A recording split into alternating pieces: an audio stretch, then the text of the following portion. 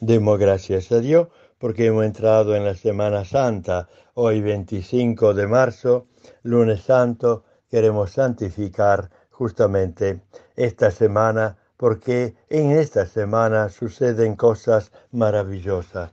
Es la semana más grande, más importante, más fundamental y fundante de la vida cristiana. En ella Jesús entrega su vida, en ella nosotros somos santificados por Él y somos también eh, ungidos por Él. Fíjense que en esta semana Jesús muere por nuestro pecado y resucita para nuestra justificación. Y como entrada en esta semana se nos trae el episodio de Juan capítulo 12, los primeros 11 versículos.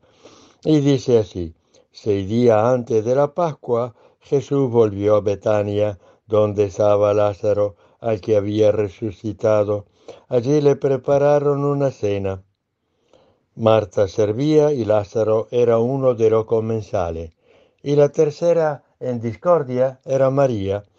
María tomando una libra de perfume de nardo puro, de mucho precio, ungió con él los pies de Jesús y los secó con sus cabellos el que sabe la, fragancia que tiene el nardo, que es una cosa demasiado intensa, bueno, es un perfume demasiado rico y demasiado fuerte.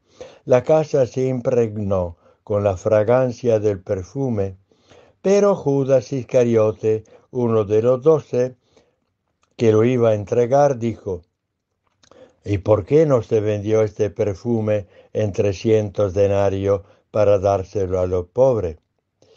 Y dijo esto no porque se interesaba por lo pobre, sino porque era un ladrón.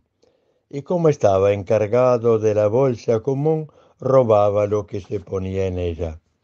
Y Jesús le retrucó, déjala, ella tenía reservado este perfume para el día de mi sepultura. A los pobres lo tienen siempre con ustedes, pero a mí no me tendrán siempre.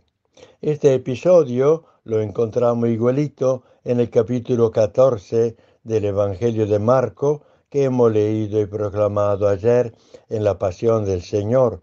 Tal vez no le hemos prestado toda la atención, pero es el mismo, sin nombres y apellidos, porque no es Judas, no habla de Judas, habla de lo pobre lo tendrán siempre con ustedes, ni habla de María, de Marta, de Lázaro, pero es el mismo.